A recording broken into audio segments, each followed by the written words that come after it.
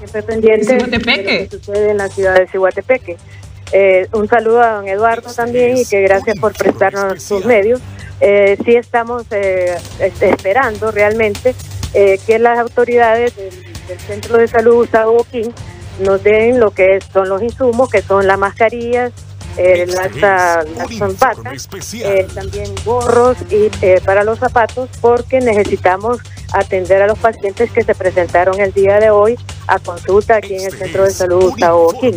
Nosotros no estamos negando la atención a los pacientes que están viniendo, pero tenemos que tener los insumos necesarios para protegernos nosotros mismos. Recordemos que la epidemia que se presentó en, China, eh, los primeros que murieron fueron los médicos y las enfermeras porque no sabían eh, cómo era de, mortal este virus. Entonces, eh, los primeros casos fueron atendidos sin los insumos necesarios.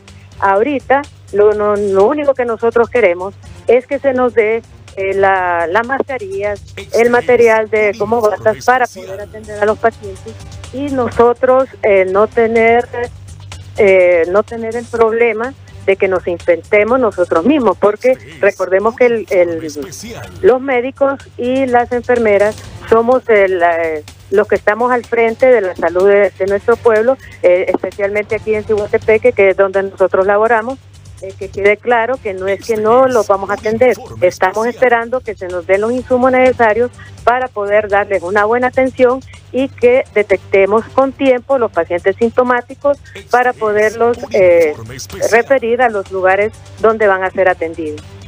Bueno, muchas gracias a la doctora Telma Carías, compañeros en estudios principales, y esto es grave porque vino una licenciada y ellas le expresaron su malestar del por qué ellos están en estos momentos en paro de labores y que están exigiendo mascarillas, batas, guantes y todos los insumos, pero les han dicho de que esto es a nivel regional, entonces es un problema grave. ¿Qué está pasando con los altos mandos de salud y eh, que no traigan a vacunar los niños? Es lo que están diciendo, ¿verdad? También los médicos que no traigan a vacunar los niños al Centro de Salud Gustavo Boquín de la ciudad de Que Ahora, más información desde la ciudad de Los Pinares. Bueno, muchas gracias Ricardo Castro. Yo pienso que este no es el momento de ponerse los moños.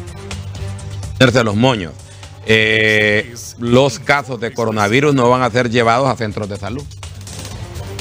Casos de coronavirus eh, y, los aislamientos, eh, aquí es para otro tipo de... Ahora, es bien difícil saber quién está enfermo o quién no. Pero, también no se trata, no se trata de ponerse, de ponerse los moños o ponerse negativo. Se trata de ponerse colaborador, colaborador. Y no se mira bien pues que una enfermera no tenga un tapabocas. De hecho, es necesario. Es necesario, ¿verdad? Y en un centro de salud debe de haber. Entonces hay que suplirlos también a ellos del material que ocupan. Sí, es urgente y yo entiendo que quizá hay escasez del material. En todo centro de salud debe de haber gel.